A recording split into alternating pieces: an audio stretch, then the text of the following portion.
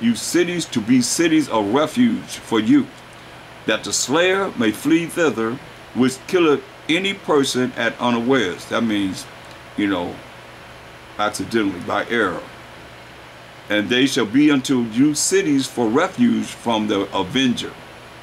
See, that the manslayer die not until he stand before the congregation in judgment. See, at a place of refuge that they would go to until he was brought to trial for the judgment. And the and of these cities which ye shall give, six cities shall ye have for refuge. So give so let's get make six cities that were just for refuge, for this purpose. Ye shall give three cities on this side of Jordan, and three cities shall ye give in the land of Canaan, which shall be cities of refuge. These are cities that we can go to if we committed a crime, you know, it's accidentally or you intended to kill a person. These six cities shall be of refuge, both for the children of Israel and for the stranger, and for the sojourner among them, that every one that killeth any person unawares may flee thither. You know, you kill someone, you know, by error or by accident, you can flee into these cities of refuge. And if he smite him with an instrument of iron so that he die, he is a murderer. You know? If he smite him with the instrument of iron that he died, he's a murderer. Because he knew what he was doing, hitting him with that iron. The murderer shall surely be put to death.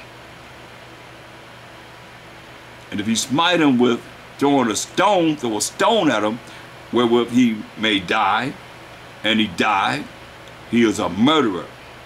The murderer shall surely be put to death. Draw a stone at somebody and kill him, the murderer should be put to death. Or if he smite him with an hand weapon of wood, wherewith he may die, and he died, he is a murderer. The murderer shall surely be put to death. Now, let's not talk about um, defending yourself. Just talking about you straight up, you know, bringing forth this blunt force, force to kill somebody. That's the intent, to put them to death. So the Most High said, put them to death. The revenger, verse 19, the revenger of blood himself shall slay the murderer when he meeteth him. He shall slay him. Slay mean to kill him. The revenger of blood himself shall kill the murderer. When he meeteth him, he shall slay him. That's why, you know, a lot of times we went to war and stuff. Let me show you something. You got an avenger. A lot of people don't even think about this, but this real. This is real. We going to the Apocrypha in um, uh, Ecclesiastes 30. Think about this. Uh, he that loveth his son, verse 1, causing him to off to feel the rod. I mean, you beat him. And they, this is not no child abuse. Hear what the Most High said? He that loveth his son, causing him often times to feel the rod, that he may have joy of him in the end. In the end. He that chasteneth his son shall have joy in him. See that? And shall rejoice of him among his acquaintance, because he's going to be in order. He that teaches his son grieveth the enemy. Before his friends he shall rejoice of him. You teach your son, it grieveth the enemy, our enemies, because they don't want our sons to know this truth. So you grieving the enemy as they see us learning, living, and applying this Bible in our life through the power of the Most High, through the power of Mashiach Yahushua, by some of Mashiach Yahushua. He that teaches his son grieveth the enemy, and, be, and before his friends he shall rejoice of him. See, though his father died, though his father died, Yet he is as though he were not dead. For he hath left one behind him that is like himself. You see? While he lived, he saw and rejoiced in him. And when he died, he was not sorrowful. Why? He, he left behind him an avenger. See what it said? Numbers 35 and 19, the, the revenger of blood himself shall slay the murderer. When he meeteth him, he shall slay him, he shall kill him.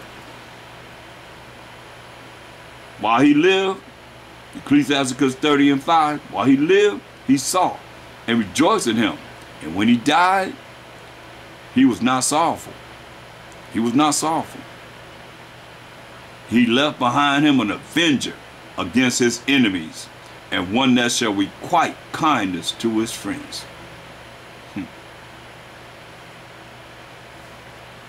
That's why it says. Numbers 35 and 19, the revenger of blood himself shall slay the murderer.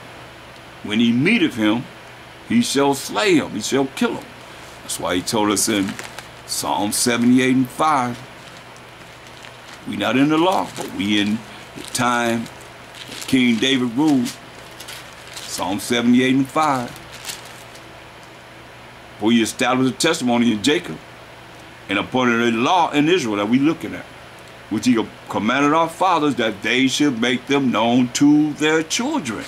Why? That the generations to come might know them, might know the laws and the commandments of the Most High.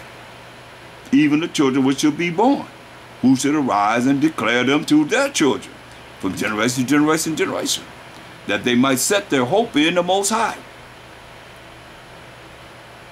And not forget the works of the Most High, but keep His commandments. No matter where you go, it's going to always come back to the Most High and doing what He say do, His rules and regulations. Hope I got rules and regulations up.